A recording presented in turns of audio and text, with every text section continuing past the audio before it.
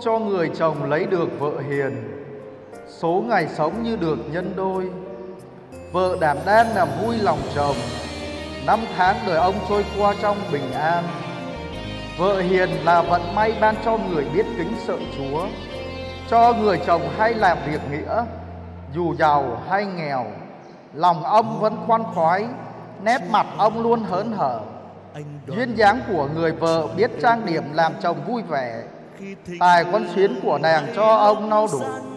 vợ thông minh và ít nói là quà tặng của chúa. không gì sánh bằng người có giáo dục vợ thánh thiện và đoan trang là ân huệ tuyệt vời. Người tiết hạnh thật là vô nghĩa. mặt trời mọc trên núi của chúa soi sáng thế gian thế nào.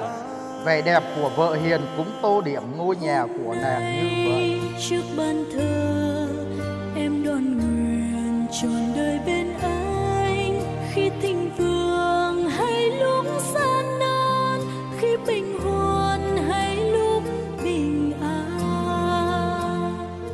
Hứa muôn đời luôn gần bên anh, để yêu thương, để kính trọng anh. Mỗi ngày trong đời các con rất thân mến. Các con đến đây để ý muốn kết hôn của các con, trước mặt người các viên của hội thánh và trước mặt cộng đoàn được Thiên Chúa đóng ấn bằng một ấn dấu linh thánh và nhờ phúc lành của Ngài tình yêu của các con được thêm phong phú, để các con mãi mãi tương thủy với nhau và đảm nhận những trách nhiệm khác của hôn nhân.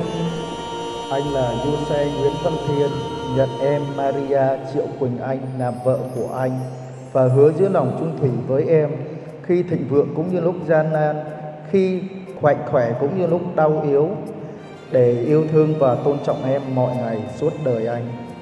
Em Maria Triệu Quỳnh Anh xin nhận anh Du Xe Nguyễn Văn Thiên làm chồng của em hứa sẽ giữ lòng trung thủy với anh khi thịnh vượng cũng như lúc gian nan khi mạnh khỏe cũng như lúc đau yếu để yêu thương và tôn trọng anh mọi ngày suốt đời em Xin Chúa ban phúc lành cho những chiếc nhẫn này mà các con sắp trao cho nhau làm dấu chỉ tình yêu và lòng chung thủy.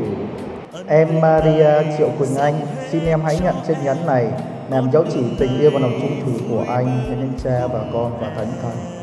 Anh C Nguyễn Văn Thiên xin anh nhận chiếc nhẫn này làm dấu chỉ tình yêu và lòng tin tưởng của em nhân danh cha và con và thánh thần Từ vì Thiên Chúa kết hợp là người không được tâm linh và trước mặt giáo hội, trước mặt Chúa, đôi bạn này đã chính thức trở thành vợ chồng với nhau. Hai đứa chúng con quay xuống mọi người chúc mừng và thánh thần.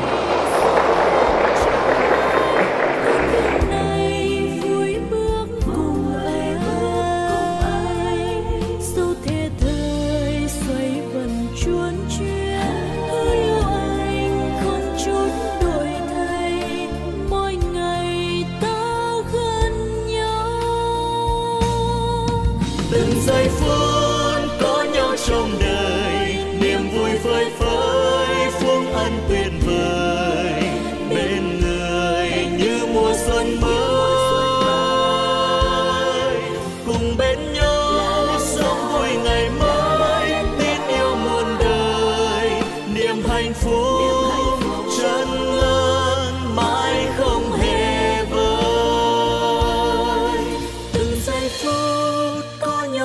trong đời, niềm vui phơi phới, phúc ân tuyệt vời.